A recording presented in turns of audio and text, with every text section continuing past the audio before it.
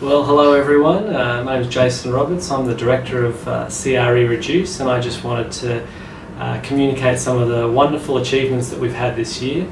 We're very fortunate to be supported by NHMRC and University of Queensland and many of our collaborating institutions, and that allows us to work with some great people, do some important work, and we're very grateful for the achievements that we've had this year.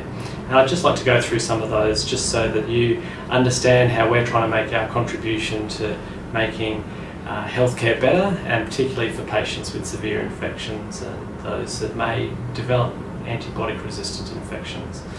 So, most importantly, I think that we are very proud of being able to convene the uh, Antimicrobial Resistance Forum uh, for 2019 here at, uh, at the Herston campus. Uh, it was a tremendous success. We were fortunate enough to have our, our keynote speaker from Johns Hopkins University, uh, Professor Sara Cosgrove, who was a, a wonderful contributor to the meeting. Uh, along with the meeting and the previous workshops, I think that a lot of people uh, developed a very nice insight in terms of the importance of the one, uh, one health approach to antimicrobial resistance and developing some important actions for that. And it was, it was a highly successful meeting and uh, we're looking forward to contributing and supporting the meeting in 2020 as well. We've also been fortunate enough to be involved in organising many other meetings through the year. Uh, we had our first foray into Southeast Asia region this year, whereby we organised a symposium in Vietnam on the topic of antimicrobial resistance and antimicrobial optimisation. And uh, we're very grateful to link with the University of Sydney for this and also with um, Ton Duc Thang University in Ho Chi Minh City. Um, it was a wonderful experience, over 100 people present, and uh, you know, has allowed us to develop some very nice collaborations with that. Uh, earlier in the year in, in Sydney, uh, we organised uh, a, a, seminar looking at um, outpatient parenteral antimicrobial therapy and hospital and the home use of antibiotics to try and develop ways to better use antibiotics in this context, and that was um, again a really exciting meeting before the uh, Antimicrobials 2019 meeting.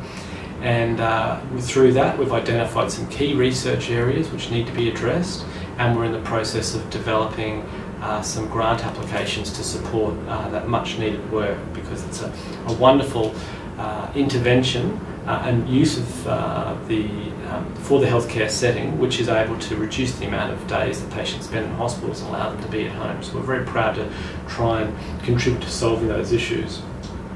We also had our first foray into European uh, uh, seminars and workshops, and with our very good friends uh, at uh, CHU Nimes, so the University Hospital in Nîmes, we organised an antimicrobial optimisation workshop uh, a seminar as well as a PKPD uh, workshop where we taught people how to use uh, modelling software so they can perform better pharmacokinetic studies so that we can develop better dosing regimens to support uh, antibiotic use in, in severely unwell patients. And we're very grateful to our very strong collaborator, Professor Jean-Yves Lefrant, uh, as well as CHU Nimes, with whom we've developed a, a formal agreement for ongoing research and collaborative activities to ensure that there's uh, more information coming through for the benefit of all about how to better use antibiotics uh, in different patient groups, with a particular focus with CHU Nimes on those patients that are, that are in the intensive care unit.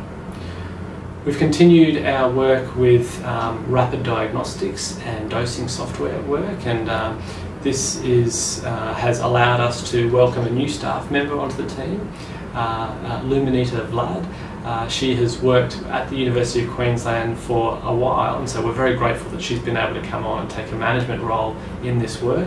It's a, it's a very collaborative project, heavily driven by uh, Queensland pathology uh, associated staff.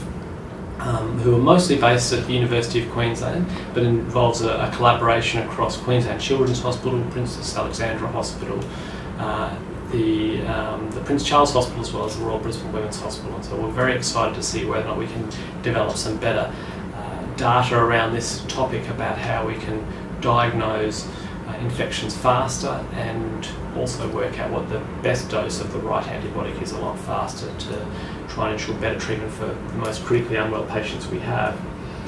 we've had some wonderful successes this year, um, notably Jayesh Dhanani, one of our, our star PhD graduates who is now a, a research fellow with us and has now got his own competitive research fellowship to allow him to continue to work in research and clinical practices. Uh, a very exciting development for us.